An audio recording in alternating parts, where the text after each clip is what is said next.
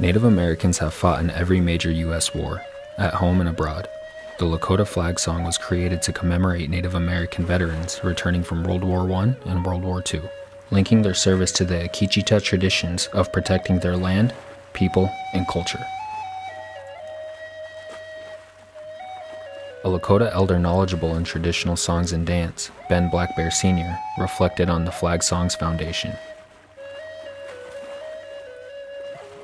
In this, the Lakota, the white people, and the foreign people, other Indians, used to consider each other as enemies.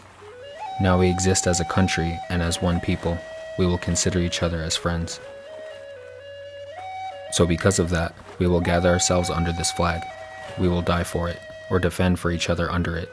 So, that is the reason we will live under the flag, the United States flag.